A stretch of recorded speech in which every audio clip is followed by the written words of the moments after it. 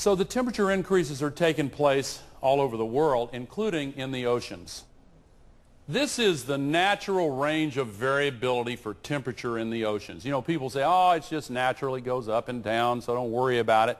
This is the range that would be expected over the last 60 years. But the scientists who specialize in global warming have computer models that long ago predicted this range of temperature increase. Now I'm going to show you recently released the actual ocean temperatures.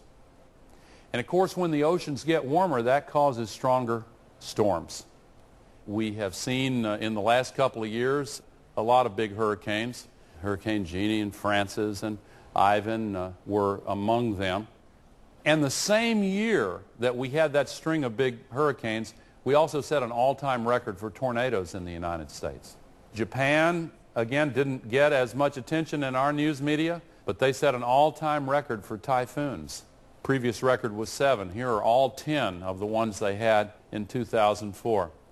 The science textbooks have had to be rewritten because they say that it's impossible to have a hurricane in the South Atlantic, but the same year the first one ever hit Brazil.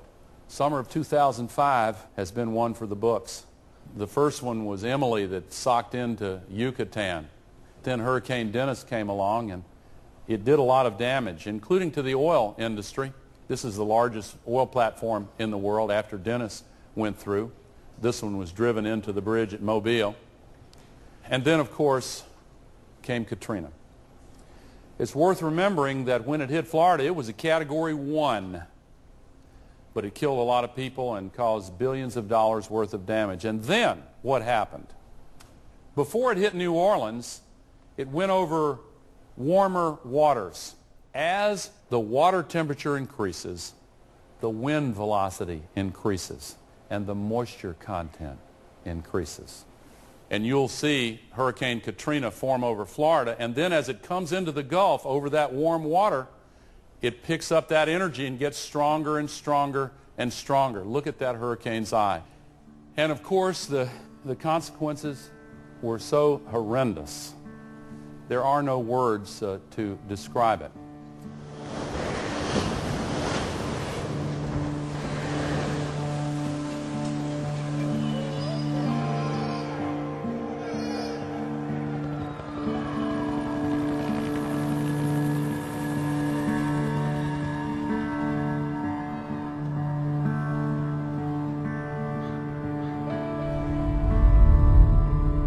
We're getting reports and calls that is breaking my heart from people saying, I've been in my attic. I can't take it anymore. The water is up to my up to my neck. I don't think I can hold out. And that's happening as we speak. We told we told everybody the importance of the 17th Street Canal issue. We said, please, please take care of this. We don't care what you do. Figure it out.